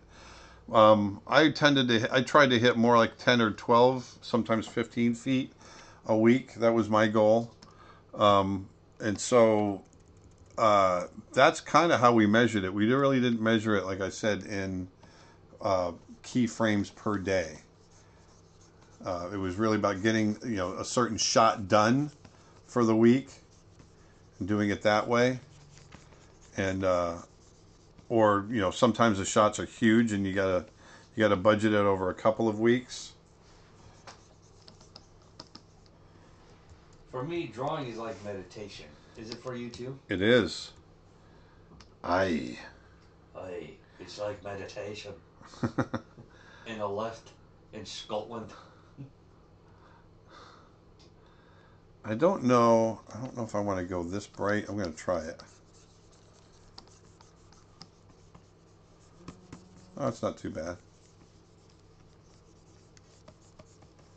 Any character depth tips? Character what? Depth, like depth. Uh, any tips on that? Um, Like probably like uh, about the character story or something. Uh, yeah, I mean, if you're talking about, I, I'm not sure if you're talking visual or or background. Um, let's see here. Uh, sorry, hold on. I'm thinking. I'm thinking. he's thinking. Um, I'm not sure I follow the, what the question is. Character depth tips. I'm not sure I follow. I'm um, if you're talking, you know, as far as just knowing your character, if that's what you're talking about, I always recommend coming up with a backstory for your character, so that you understand who they are. Oh, yeah, uh, saying both visual and background depth. So just like overall character. Yeah, so I mean, you really want to understand your character before you get into animating it. Before you ever start to draw, know who your character is. Write your character.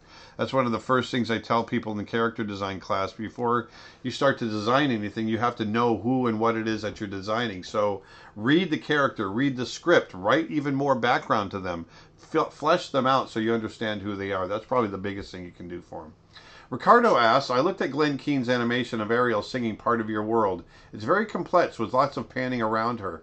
For a shot so complex, would an animator leave lots to the assistants?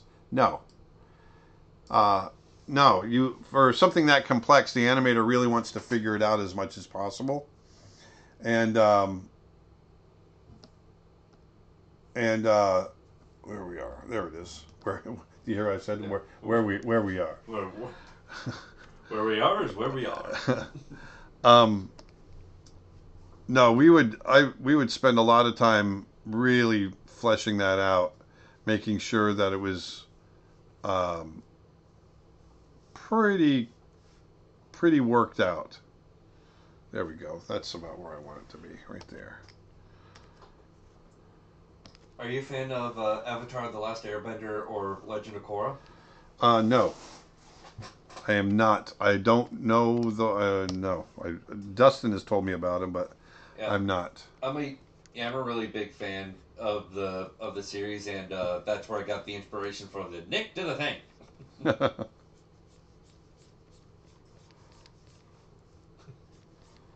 Julie, do the thing. Uh, which is your favorite animal? uh, bears, big cats, you know, anything that you would imagine would be. I mean, because you guys see me what I draw. See what I draw. Jill asks, "What's the longest shot you've ever animated?" Um, oh shoot, probably a few, uh, like a minute or two. Um, for a single shot. The credit sequence during the Rescuers Down Under. Um, Wilbur is it's tiny little booger animation, but it goes on for the entire credit sequence. I animated all that. Uh, rest in peace, white dot on ear. That'll get fixed. I think that's the white dot behind the ear. That's something that uh, they think um, cats have that in order for the them to follow each other or something like that. I think that's what I heard at one time. So they can see each other better and follow each other from behind. What satchel do you use uh, when you go outside? What? Which what? What satchel do you use? Like Satchel? yeah, like Oh, carrying gra- bag. grab it. The red one. Yeah, either one of them. Either one. But the red one. I use what's called an arty. This is my time to plug my friends at Lilo it. So these are all handmade right here. This is uh, one of several arties that I own, and um, they're awesome. I'm going to back up just a little bit. So, like I said, they're all handmade. This one's denim. and uh, and they're very they're all, all completely customizable. So they open up with lots of great pockets inside. Can you see all that? Okay. Yeah. And uh, I keep all my pens and everything in here, or watercolors, or whatever the case may be. Uh, and then inside, I keep my sketchbooks right here. And uh, there's extra pockets in the back. I could keep more uh, paints and that sort of thing. And um, they're by Lilo Rosh. That's L I L O R O S H dot com, LiloRosh.com. And like I said, they are all complete. They're all handmade and completely customizable. I, I had one about four times this big made up for myself. Well, I sent them drawings of what I was I was looking for, and we worked it out together, and boom, I got it done. So that's what I use, and I take them all over the world. I've that one's pretty new, but I've got a blue one that I've had for about three years, and it barely has a scuff on it. So they're they're pretty amazing.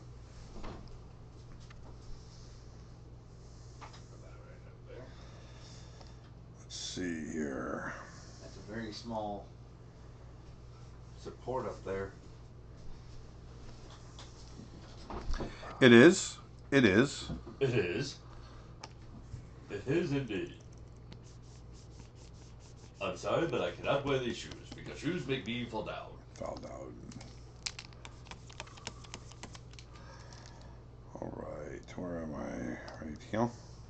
I've loved the images you created ages ago where you drew a character into a photo environment. Would you do some more of that soon? Sure. Yeah, I would definitely do that. I I like doing those, like the the elves and all of that. I'm assuming you're talking about, which I absolutely love doing. Let me add. I'm going to do this. Alright, so I'm going to draw now. Tell me one thing I'm going to draw and I'm going to draw it. Uh, draw.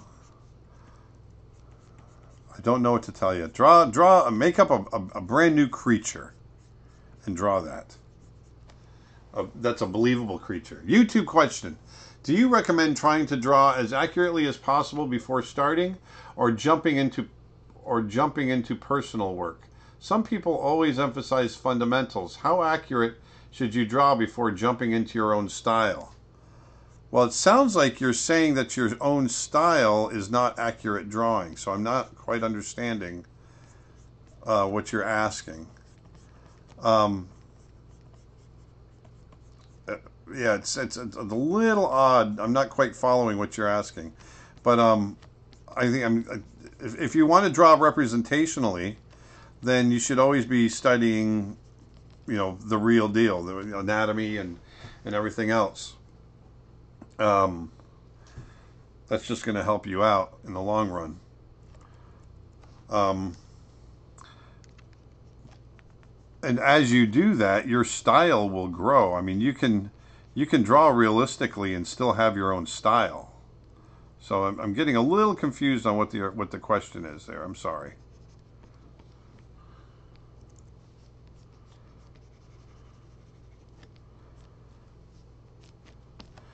Here I'm just adding some highlights in here. Trying to go kind of quickly through here now. What was that? What was what? I heard a like a coin. I don't know. Must been the chair. So I'm hitting some highlights in here.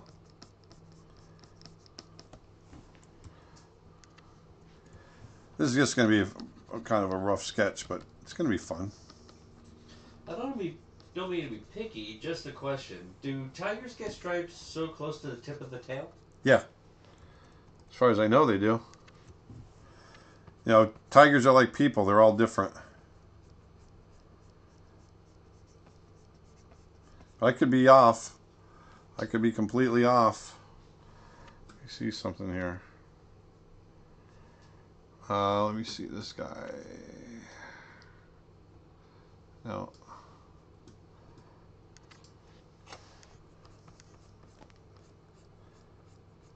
There we go. Should they follow anatomy and be super technical, or jump right into their own thing? Learn the foundations to draw with your own work better. once again, I mean, one goes hand in hand with the other. I, you can't, I can't, I don't think you can do one without the other. So if you're wanting to do representational work, you have to do, you have to work the fundamentals, which is anatomy and all that stuff. And then, you know, you, yeah, work on your own style as well, but don't break the rules until you know the rules. That's basically my, my two cents there. Uh, when will Aaron play guitar for us? I will do. I will play guitar at some point, but I'm here to draw pictures for you guys, not music. How about you start giving us in-stream exercises? Mwahaha. In-stream exercises. Well, Breathe in, breathe out. breathe out. Obviously, you love to draw animals. If you had to animate a fantasy creature, which would you choose? I love dragons. Dragon. Dragons. I always love dragons.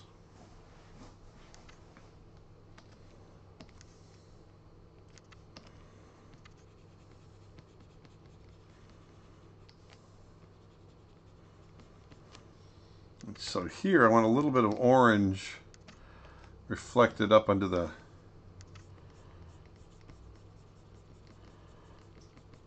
under the chin there. Feel that orange light bouncing off the the fur.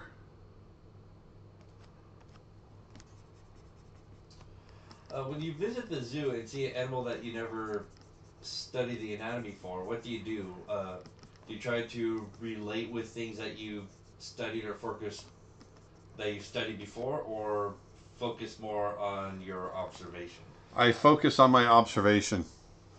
I sit and I very much just look at the animal and just observe and just soak it in. I look at proportion.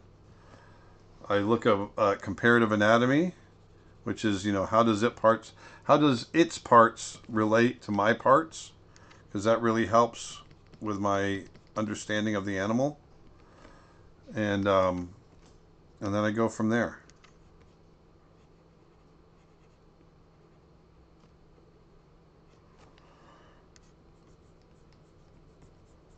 I would love to There see what dragon you would add uh, to How to Train Your Dragon. Yeah, that would be fun. I really, I really wanted to work on that film. I love that movie, and I really love. I like Dean DeBlois as well a lot. Did the third one come out already or no? No, it's not out yet. So here I'm just going to give him a little light, just a little reflected. Whoops, that's not the right layer.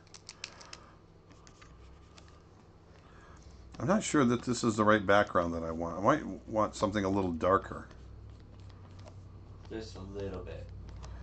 Yeah, I'm not. I'm not digging. I don't like it. I don't like it. Yeah, I'm gonna. I'm gonna go a little. I'm gonna do this. I'm gonna try something. You going to try something? Something. Something? All right. I'm gonna pick up the energy here. Pick up that energy. Just darken, just to get them to pop a little better. Just putting a little gradient on that background, just to get them to pop a little bit more. Maharshi Mah, Maharshi on YouTube says, "Fun fact: tigers are the only cats that are completely striped. They've got stripes on their skin as well. That's interesting. I didn't know that." Really? Where would new artists get work experience in concept art? Um, well, that's uh, different studios. I mean, there it's it really depends on. Uh, well, that's a good question. It, it's it really does depend on on you know where the work is, right? So, um, let's see here. That's what I want. I'm going to combine these two layers you know, there's small studios, big studios. Uh, You just got to get your portfolio out there.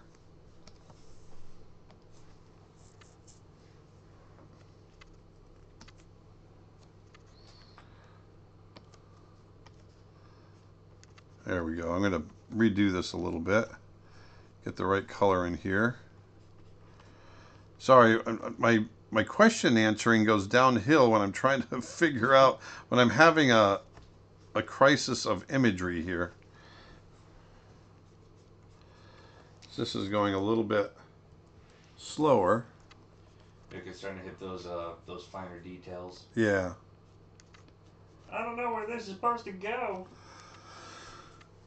But as far as yeah, as far as getting that that work experience, you really just got to pound the pavement and and and the other thing you can do on uh, is is keep a great um, social media account because people watch that. I mean, that's that's really how people are getting seen nowadays. Instagram and and those types of things, and those are really important. They're really important, actually. And uh, and I mean really important. There we go. What's the most original in character you have seen that also worked? The Like- most what? Like char- like uh, character development or character design? Oh, that's a wow. That's a that's a good question and a tough question. I've never, I don't know. Um, that you have personally seen. yeah, I understand that. I I don't know. Uh, you know, I think in uh, one of the most amazing animation I'd seen, uh, probably in my entire career, was in the Thief and the Cobbler, the original. Um, with Richard Williams animating, he did this animation of the of the uh, magician. Is it the magician?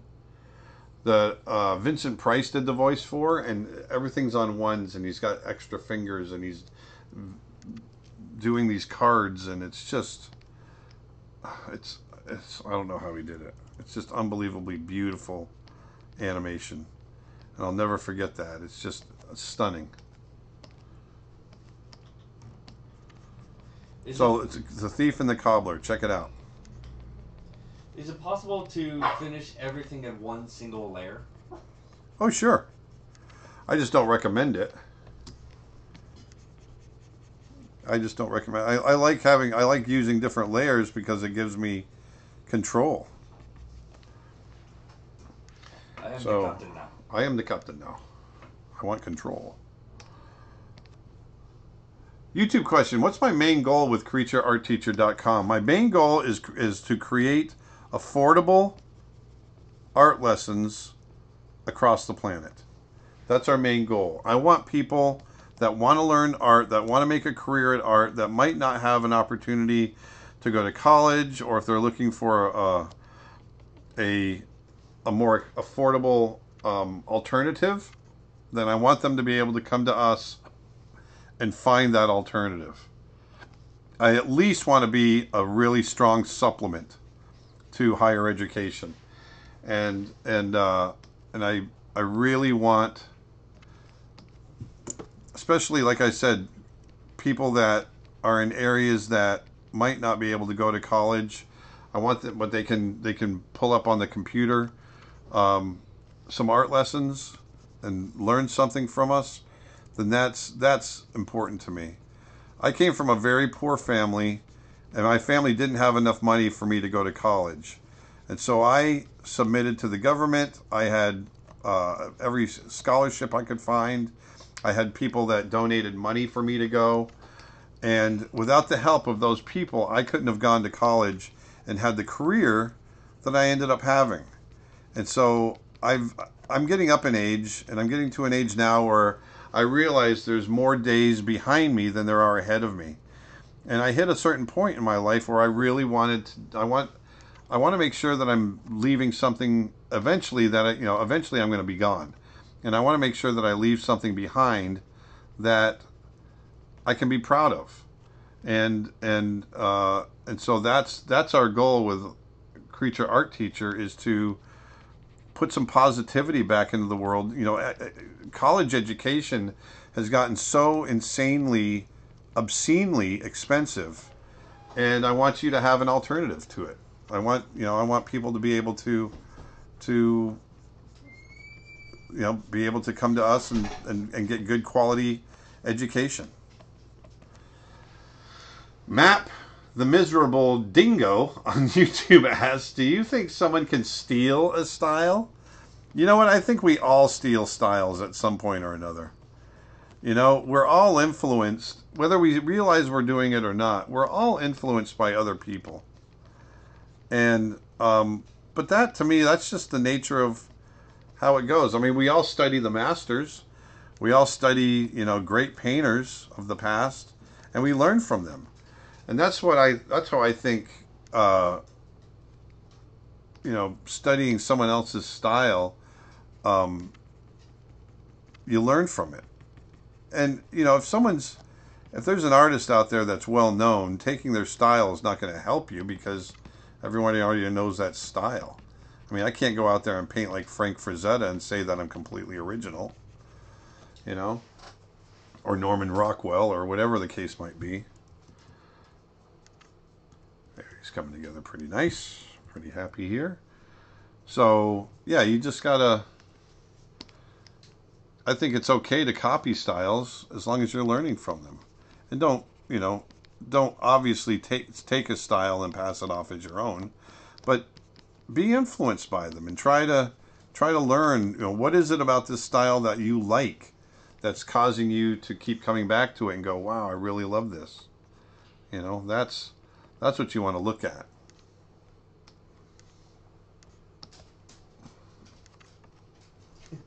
Fake it till you make it. Yeah, it's exactly right. No, fake it till you make it is is that's a that's definitely the truth. Thank you. Oh, Achilles is here. And uh, and Aiden just walked walked in earlier. Ah.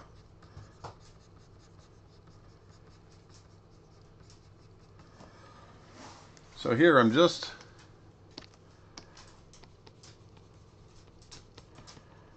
just trying to get some of this down here. That that eye I'm not happy with, but we'll figure something out here. There's something about that part of the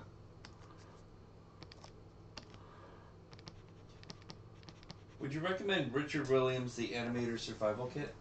Absolutely. It's brilliant. It's upsub brilliant. I was going to say something brilliant. else.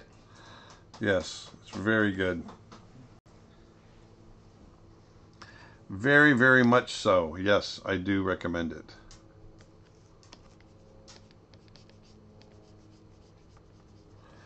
There. This is coming along. I've got a lot. I could spend hours and hours and hours on this. But um let's see how much longer do we have. We've got about 15 more minutes.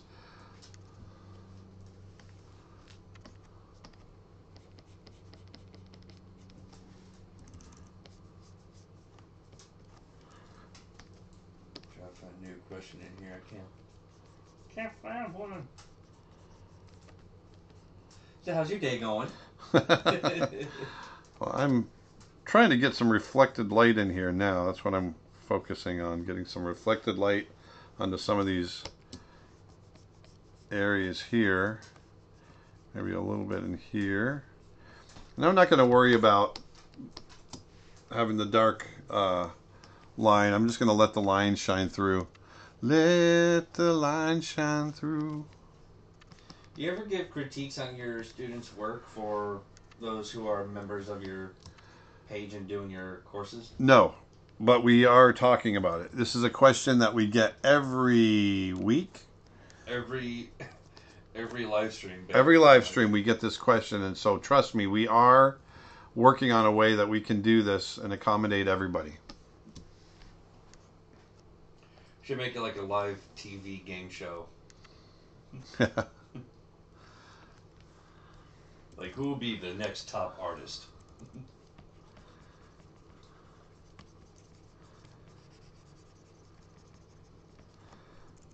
Would you consider doing more paleo art besides mammoths? oh yeah, I um, I love paleo art. I love building stuff up from the skulls, because then you're creating, you know, something that really hasn't been seen in a long time, and that's kind of cool. That's a fun thing to do. But did we figure out what does red smell like? nope. What inspires you to create? Um, I can't. I don't know. I, I just I love nature. I love the act of drawing. I can't not create. So it, it's it's like saying what inspires you to breathe. Well, I got to breathe so I can live. And kind of it's kind of the same thing. I, I don't know how else to live my life. I've always drawn, and um, I've never not drawn. So I don't I don't know any other way. Have you guys ever considered doing a charity stream where you stream for a ridiculously long time while raising money for a charity? Um, no, not in that sense, but I would love to do that if I knew it would. If I if it works, then yes, I would love to do something like that.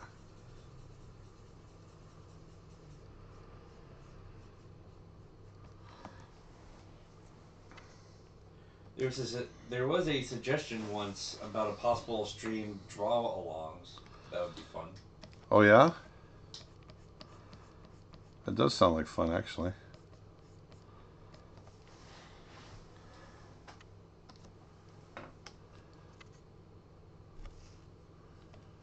Oh, I've got a whole bunch of stuff up here. Sorry, Nick. Um, Patchwork Heart asks, "Do you have any tips for drawing hands? I'm working on a college application portfolio right now and screaming at my drawings." Well, you know, think about your hands as shapes. Um, break them down into shapes, you know, and, and think about them in that way. But you also got to think about the rhythms of your hands. Your hands spiral. You know, if you look at the way your fingers move, there's a certain way that they all work together. And, you know, draw your own hand and, and, and try to find those rhythms. I don't know how, what to tell you other than, you know, doing it a lot is going to help you. Um, but yeah, hands, hands are tough. They're really tough.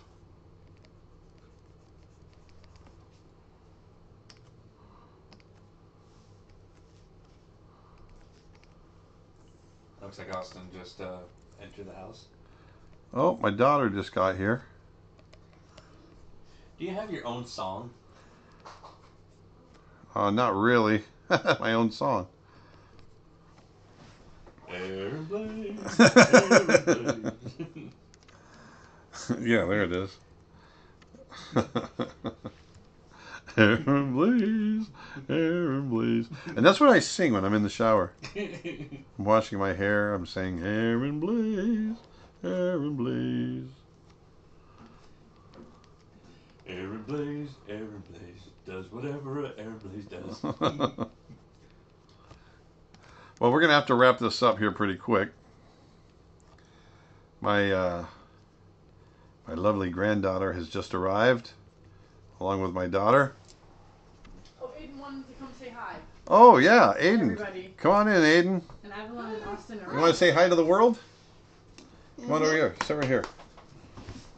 Okay, you got to look at the camera right there.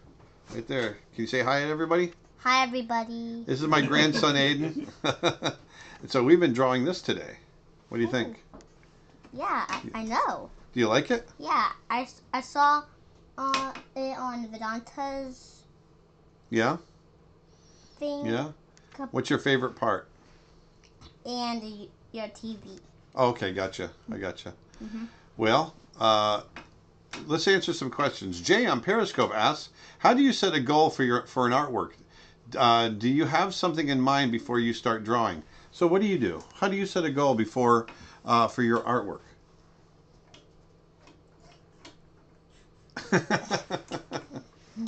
I do. I so a lot of times I'm thinking about a certain lighting thing that's inspired me, or a combination of colors that have inspired me. Usually, when I sit down to draw, I'm I'm being inspired by one or two little things that that'll be the thematic for me uh, from an artistic standpoint, as far as you know, carrying out through the rest of uh, an image. So yeah, a lot of times it's small things that inspire me. Um, have you heard of the animal artist David Shepherd? Of course I have. Absolutely. Yes, he's wonderful. Uh, and the world says, hello, Aiden. The whole world just said, hello, Aiden. How did you know that? Did you hear it? Look, right there. The world says hello, Aiden. Where? Right there. You see it? Oh, Yeah. I, I see it. Isn't that cool?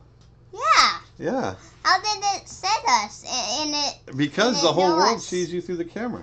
Oh, But we do have to get going, so I'm gonna That's pop. I'm gonna pop you off my knee, That's cool. and uh, do you want to you want to come see me? No. Okay, that's, That's, not gonna like work. really cool. I know. So I'm gonna get going. We're gonna finish this up, and uh, I'll be right out in a few minutes. Okay. All right. I love you.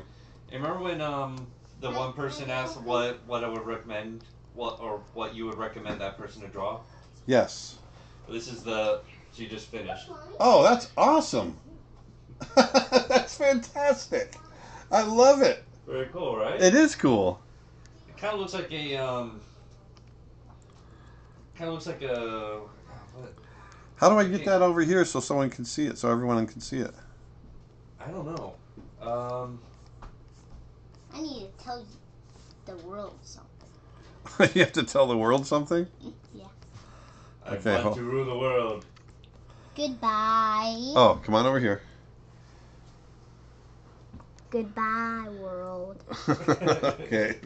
All right, I love you. All right, go over. I'll be over there in a little bit. Mm-hmm. Go on. Skedaddle. Get out of here, kid. You bug me. Get out of here. Get out of here.